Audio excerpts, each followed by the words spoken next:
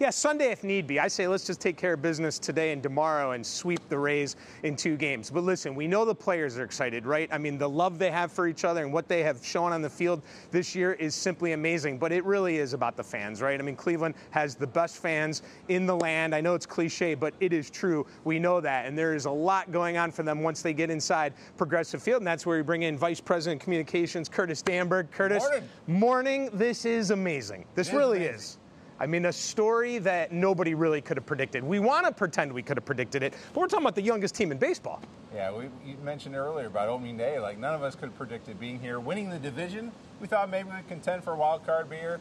We're in the wild card round, but we won our division by 11 games. Who would have thought that? It's been awesome. It really is incredible. The numbers are just, I mean, amazing. So, what can fans expect when they get inside the ballpark here over the wild card weekend? Get down here early. Gates will open at 10 o'clock. You want to be in your seats by 11:30. Get ready for the pregame festivities. Uh, lot in store. We want you to rock your red. Okay. We'll be handing out these rally towels. Stand for the land is, the, is our game plan. So looking forward to that. And you're going to honor some people as well. Yeah, so John Adams, we wish 50th season uh, of him supporting us. I wish he could be here, so we sent out, took a little camera out there to uh, film something we'll show pregame. Uh, great way to honor him. Obviously, we took his bench and uh, put a replica drum out in Heritage Park, so go check that out. Uh, it, give us some good luck for the year. One thing I always get a kick out of is people wondering if this place will be packed, okay? Every, you know, because obviously, you know, during the season, not every game is a full house. But when it comes to the playoffs, this place is always rocking and the atmosphere is going to be great. And there's still a chance to get in, right? I'm excited for these young players. Yeah. because they have not seen when this place gets going. It's pretty special.